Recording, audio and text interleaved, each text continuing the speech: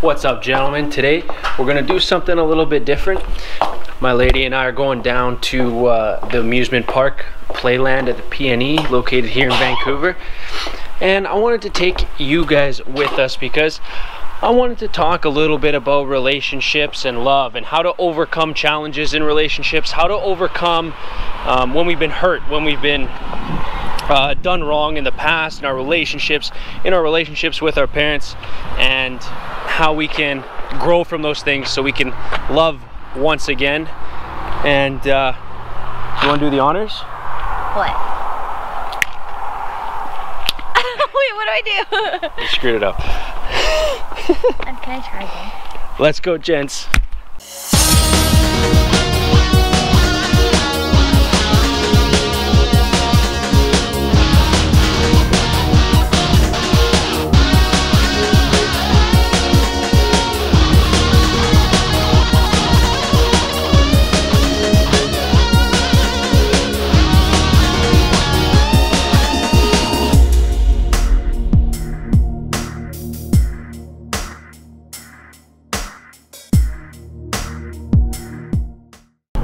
Okay, so the first thing that we should be talking about here is is our trauma. Now, uh, our trauma comes from our parents, uh, mostly from our parents. Um, no matter how how well our parents treated us, how well they provided for us, our parents are our first attachment figures, and they set the stage for how we are going to love in the future. And so, the way they love for us and the way they care for us really sets the template for how we are going to love in the future.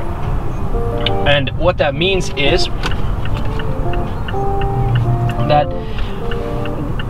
no matter what we've been through, no matter what our parents have done for us, we're gonna have to overcome some sort of trauma, overcome some sort of hardship in order for us to love healthily, in order for us to love properly once again.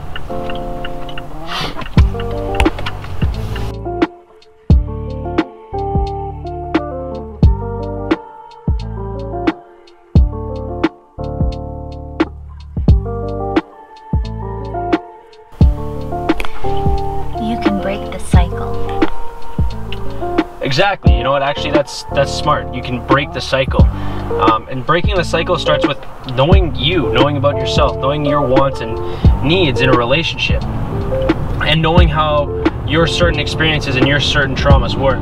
Me, for instance, so my old man, he passed away when I was super young.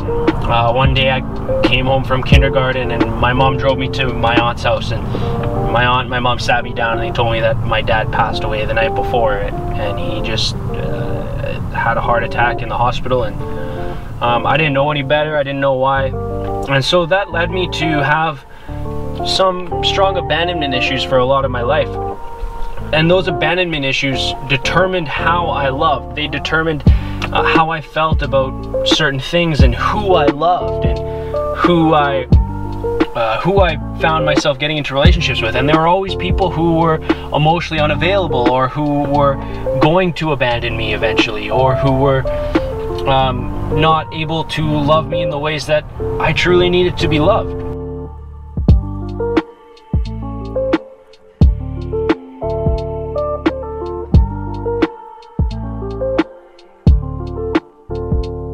Right thing to do is never ever ever easy. So, um, you know, we're gonna go enjoy some barbecue and think about uh, think about how our trauma affects us. That's the kind of things that we talk about. Over barbecue. Yeah, over barbecue. So, yeah, stay tuned for that.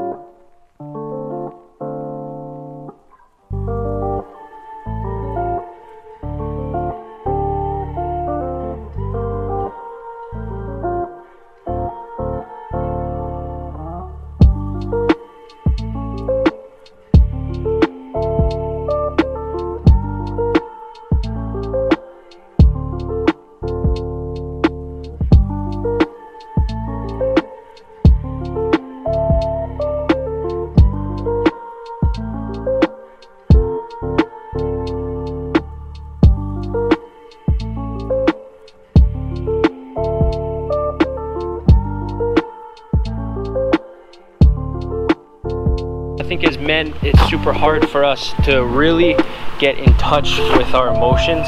And it's not that we don't feel those emotions it's that we're not wired to really talk about them the way um, these creatures are. And uh, they just have a way with their emotions and it's so easy for them to just express. And for us guys it's it's really tough. It's so when I say like we have to go to counseling and we have to read and we have to be vulnerable, it's not it's not as easy as it sounds, and I, and I know that 100%. Like, how easy for you is it to be vulnerable? I just tell people how I feel all the time. see, see, how often do you just tell people how you feel? It's it's not the same, and so I totally get how hard it is when I say, look, we all have trauma, we have to deal with it, and we have to talk about it, we have to go to counseling, we have to be vulnerable, but it's never easy. All right, so how do we show emotion relationship? Like, aren't women gonna not like it when we show emotion? They're gonna think we're betas. They're gonna think, how can I trust this guy? How am I gonna trust this guy to take care of me? Doesn't I, I like? I feel like I'm wearing the pants right now. Now, why don't you tell the guys how they should be showing emotion in a relationship? Well, um, you can show a little bit of emotion, but you can also have like a masculine touch to it. So basically, you can kind of admit to something that embarrassed about or something that you're a little bit vulnerable about. But you can also be like, you know, that's something I need to work on. You don't have to worry about it. This is something about me that I know I need to change. You know, own up to it, but also admit to it at the same time. I think an example of it is when you, you, I'm kidding. Uh, um, is when you kind of forgot something that was a little bit important to me. Yes. Uh, and instead of just being like, like, why does it need to be important? Which is one side of it. Or another side of it is like, oh, I'm so sorry, I'm the worst. I can never remember things. You must hate me. Don't do that. the other side, the middle, like the, the sweet spot of it, is when you can be like, you know what? I admit I messed up, I forgot, but I'll work on it next time. That's something I need to improve about myself, and I'm sorry that that hurt your feelings. Wow. Gentlemen, if, you're enjoying this video so far, if you think my girlfriend's super sexy, go down below and slash me. One of these bad boys.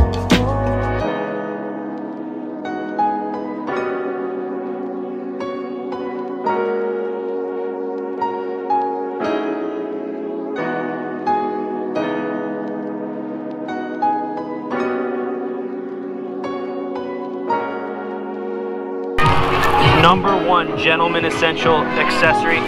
Not watches, not bracelets, not rings, but purple paper wristbands.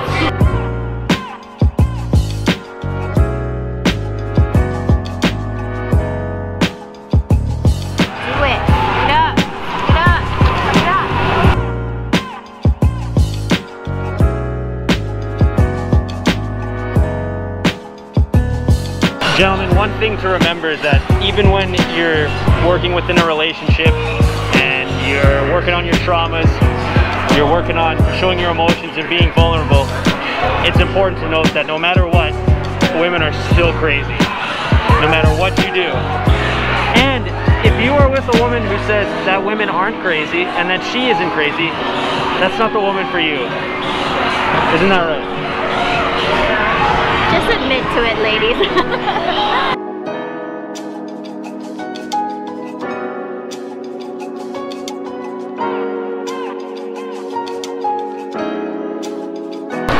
Gentlemen, when it comes to vulnerability and love and relationships, like we talked about earlier, there's there's a difference between being a I'll put it this way, there's alpha vulnerability and there's beta vulnerability. And beta vulnerability is what Veronica was talking about earlier where they say, you know, you make a mistake or you have an emotion and you and you're you're disappointed with that emotion. You say, "Oh, please like forgive me for this emotion," or or you're embarrassed about the emotion or how you're feeling in that moment, as opposed to owning up to it, accepting that it's a part of you, and saying, this is what's up for me. And that's where alpha vulnerability comes in. It's saying, this is what's up for me. This is how I'm going to deal with this situation in this moment. And you can come with me and, and be a part of me working on that emotion, or you can do your own thing. But this is what's up for me right now.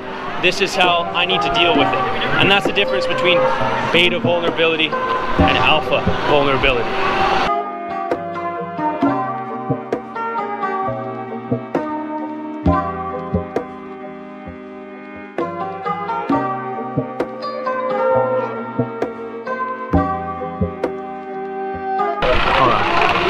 This roller coaster here is almost 70 years old. Okay?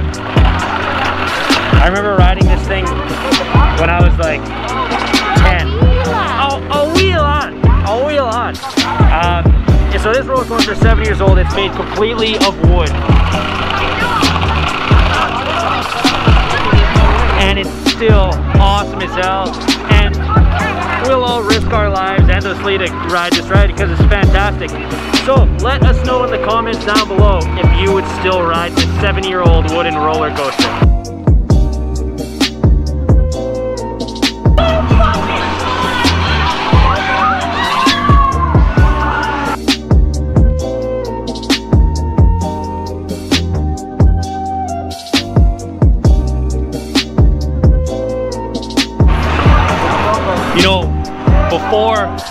Called me man talk, they called me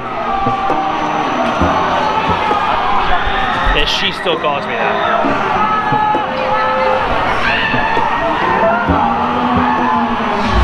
All right, gentlemen, so unfortunately, it was pretty dark uh, the last few shots that we took, and they are basically unusable. So, I'm back here. I really wanted to finish this off by saying our past doesn't dictate our future but it can. If you're struggling with love, if you're struggling to stay secure in your relationship, and you're struggling to stay secure in everyday life, you can change it. Like my lady said earlier, you can break the cycle. What happened to us in our past involving our parents, involving our previous partners, involving people that have harmed us, those things can all be changed. Those things can all be fixed with a bit of hard work, willingness to learn and grow, and a willingness to be vulnerable. Relationships are hard and love is hard. And it takes a lot of hard work for us to build fruitful, healthy relationships and for us to be happy.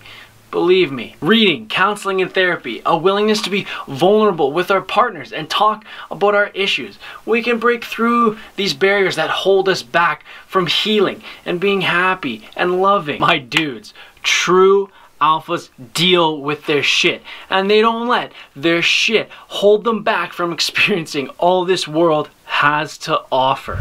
Okay, my handsome, fantastic dudes, what did you think about this new style vlog type of video with me and my lady going around to the amusement park, taking you guys around, showing you the rides, and talking about love and relationships? To be honest, for me, it was pretty fun. It was definitely different, and I hope you guys enjoyed it as much as I did. I want to give my lady a big thank you for being on camera, dishing out a bit of knowledge, and for being absolutely fantastic. Gentlemen, have a fantastic rest of your day, an absolutely fantastic week ahead as well, and as always, stay handsome.